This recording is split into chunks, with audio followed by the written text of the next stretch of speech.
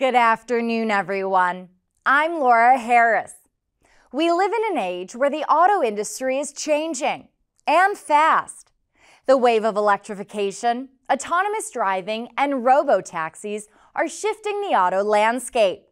But despite technological hurdles and economic headwinds, robo taxis are showing signs of resilience. They're deploying fleets. Uh, they're deploying fleets of hundreds of vehicles. They are setting up operations in new cities, uh, and I think that shows a willingness from their uh, from them and or their parent companies that they're going to continue to put billions of dollars into this, and and they see an inflection point somewhere in the second half of this decade. Advanced driver assistance systems provide both convenience and a brief moment of hands off the wheel operation. But car companies might favor driver assistance systems, not robo-taxis, as a faster path to profitability and less of a technology challenge. There's an acknowledgement now that the technology is is tougher to crack than was kind of first put forth and kind of continues to make incremental gains and depending on who you talk to there's still some pretty big breakthroughs needed to to really do this in a widespread, meaningful way.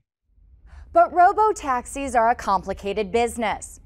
One official says it's an entirely different business than ride hailing. And some analysts say the pathway to profitability is challenging, as many variables still exist. Uh, that I guess that's reason number one is the kind of the operational complexity, who owns the vehicles, maintains them. You know, number two would be there's different ways to approach this business. Not everybody believes that that straightforward path that Waymo and Cruise in particular have taken is the right one. Bigelow says scaling is key in order to be successful. But how to scale without a parallel increase in expenses becomes the question. One official says even if you unlock this technology in a city, how will you be able to finance and make it until it turns into a positive business case? So, is there a future for robo taxis? So I think the devil's in the details here. It's it's complicated. Um, I don't know that we're going to see all these grand plans come to fruition, but that's not going to help them get to the big revenues that are going to, you know, stall the billions uh, in losses right now. So it, we'll just we'll have to wait. We'll wait and see how these develop. Thanks so much, Pete, for taking the time to speak with us.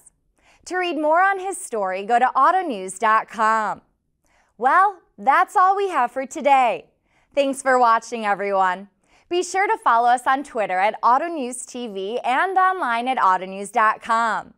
For updates from our reporters all day, every day. I'm Laura Harris. Have a great night, and I'll see you all next time.